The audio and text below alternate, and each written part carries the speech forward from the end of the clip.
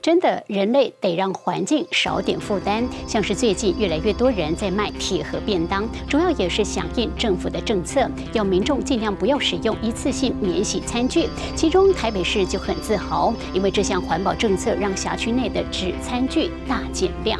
根据台北市环保局的统计，二零一六年四月到十一月，光是机关与学校就少用了两百五十一万个纸容器，这堆起来可相当于两百八十。八座台北一零一的高度哦，跟前一年同期比较，纸容器已经少用了百分之七十六，确实有推广有成效。虽然刚开始很多人觉得很不方便，但总是为地球尽一份心力。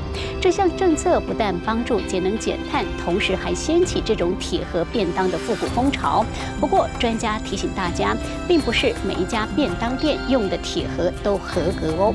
有一个小小的 paper 可以检验，就是您可以拿磁铁吸吸。看，如果是这种合格的食用级不锈钢餐盒，有添加一定比例的镍，那么镍具有反磁性，那么磁铁就会吸不住。而用这种铁盒来装便当比较安全。相反的，非食用级的颜色比较偏蓝，它是有磁性的，就会把磁铁给吸住。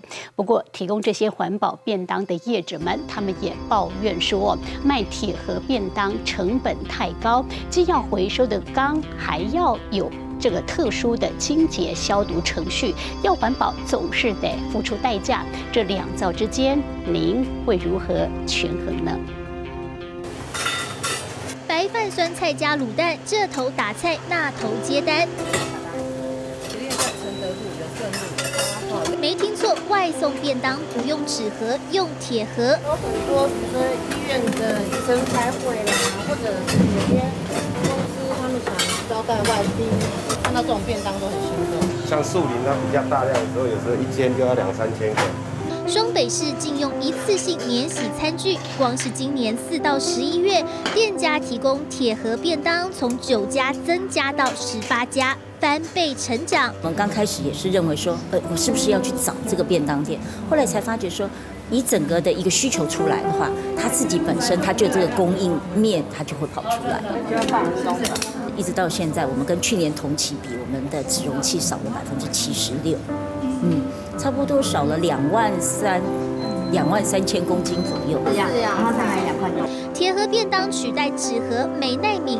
北市环保局统计，今年四到十一月，机关加上学校少用两百五十一万个纸容器，能堆两百八十八座台北一零一，相当减量五万九百七十八公斤二氧化碳。专家提醒，看就知道，这个是两百系列的不锈钢并非所有铁盒安全无虞。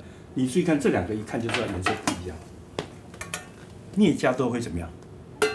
会泛黄啊。嗯。所以它比较黄，它比较蓝，对不对？对不对？哎。所以实用级的是这种。对啊。磁铁吸不住，这才是实用级的不锈钢。对啊。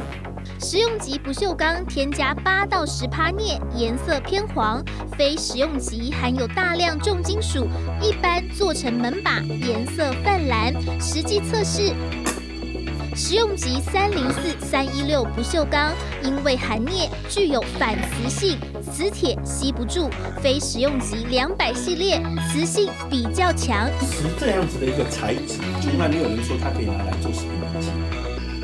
因为它本身没办法形成一个保护层，所以它酸碱会把这些钢材里面的一些金属元素溶出来。你会知道一堆你不需要知道的金属啊。医师提醒主管机关加强稽查，而合法业者会有增加工作量吗？当然有啊，大家还要多洗、收回啊，然后再洗，则大叹钱难赚。你等于去一个。一个工，然后回来还要收一个工。如果是量不够，我们也不敢接。那说实在，还有它有一个金额的限定，所以我们这个价钱又被卡在那边。他们他们就是规定八十块预算。哦，公家单位。对，所以做这个真的很难赚。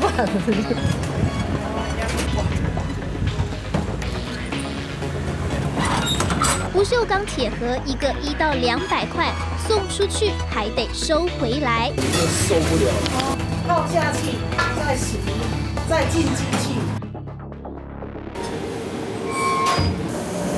再出来，就等于要好好几道洗的程序也也要好几道。后面那一桶三千八，所以两桶就五五千多块。清洁用的就对对，它专用，它专用的。清洁消毒加上油钱，一个铁盒成本五块，相较便宜纸盒一个一点八块，贵了将近三倍。像现在菜这么贵的话，我也不敢涨价。即使有心配合政策，业者坦言很吃力。整个数量上的一个订购，可能在呃要统一啦。嗯，可能因为他们开会就变成说一个局处一个局处，可是这个局处只有二十个，希望说统一订购的数量够多，让我们好整个流程制作是一个呃可以以这样最后的总金额来平衡我们的一个人事费用，然后成本。原本是怀旧古早味铁盒便当，搭上环保政策，意外成为外食新风潮。